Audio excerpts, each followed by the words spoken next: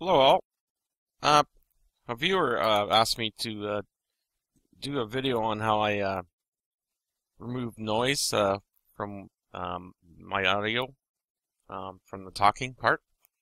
Um, first of all, I'd like to start off by saying it's uh, I use a generic off-the-shelf um, microphone. It's a Logitech headset with a mic on it. Nothing special about it.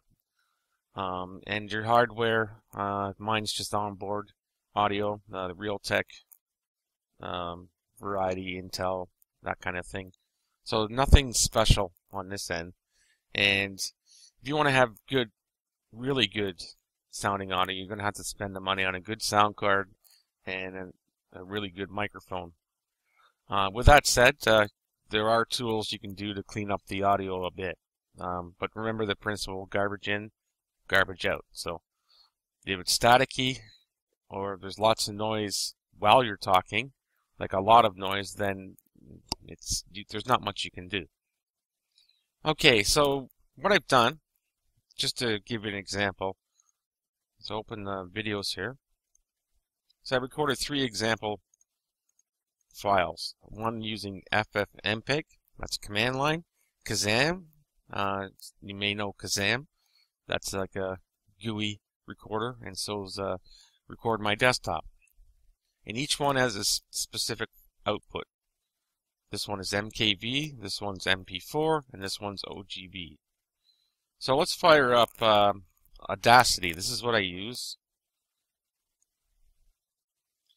And we'll take the first example, the MKV, and you can just drag it right into the window of Audacity.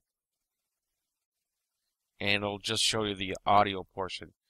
Now, on visual inspection, you can see that the audio level is extremely low, but we can fix that. So click on a blank area here, for example, and then go to Effects and down to Normalize.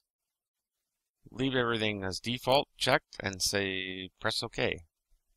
Now you can see visually that it's up pretty good. Uh, you can do a test and play it back, etc. Now for other parts, like here, obviously this is there's no talking here, and you, and by the way, you should give yourself some time before you uh, start saying anything, so you can get rid of some noise right away. And just from me knowing myself, uh, this here and here and probably in here are me taking a breath, which drives me around the bend uh, when I listen back to it. So what I do is go to Effect, Noise Removal, Get Noise Profile. Uh, noise reduction in uh, dB is 24. That's the default. So just get Get Noise Profile, and that dialog will close. And now you highlight the whole audio portion again go back to effect, noise removal, and instead of get noise profile, you hit OK. Now that happens fairly quick because it's a very short clip. But you can see already that the this beginning here, there's some, the noise has been reduced and uh, the little parts in between. Now if you want to go a little further, and before you say anything, you can check it by just playing press just pressing the play button. But just by looking at it, you can tell that there's not much here, but there is a bit of noise. So we'll just go to generate silence and say OK. Now there's nothing there. It's completely silent. Same with the end too. You want to give yourself some time at the end.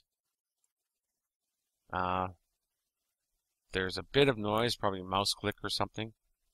So again, generate silence. You press OK. Well, that's gone.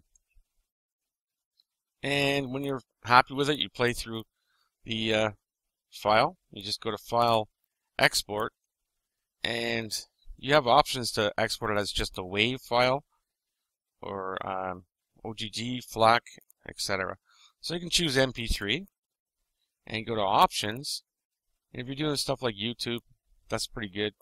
Good enough for voices. Quality is 128 and constant bitrate and hit OK. So I hit save, it'll automatically put the MP3 on the name. You can name it anything you want. So save, You fill in stuff here you like and then hit OK. And it's done. And there it is there. Because I told it to save in the video folder. So you can open up with say uh, VLC Media Player. The reason I like to use VLC Media Player test. Is sorry about that. That's really loud. Um, is you go to Tools, Codec Information. It'll tell you sample rate 48. That's a little high actually, and bit rate is 128, and that's what you want. And we'll close this. Alright, so close that. It's the same process with the Kazam recording of M MP4 MPEG-4. However, I have you use uh, record my desktop. That outputs an OGV. Uh, Audacity, as far as I know, unless you maybe there's some plugins for it, won't accept OGV. And there's lots of uh, command line options. I like to use uh, any. There's a whole bunch of transcoders. Say this one, transmega, make whatever. I'll put it in the description. Um, so choose an input file. There it is. Record my desktop.ogv. Say open. And output format. Now we know it takes uh, MKV, AVI. So let's uh, do M MP4, MPEG-4. Uh, audio co codec, you can uh, choose MP3 right, right away if you want, or just leave it at AAC. That's fine, and just go transcode. Shouldn't take too long, because the, the clip is really short. Longer clips is going to take much longer, a few minutes at least. When you're done, you just close the window. And now you have an MP4. Let's open that with uh, VLC. Go to codec information. Now you see the video. As it said, it was uh, H.264 MP4.